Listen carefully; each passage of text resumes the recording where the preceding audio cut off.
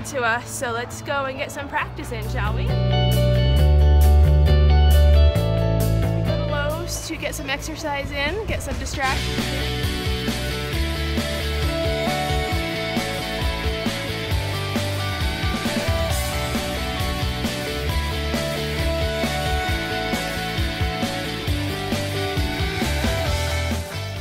guys, we're gonna do a heel with no leash. We're in the back of the store, so there's few distractions.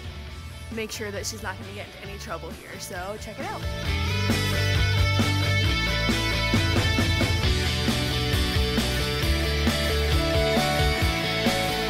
We're doing some confidence building exercises. Here she is again.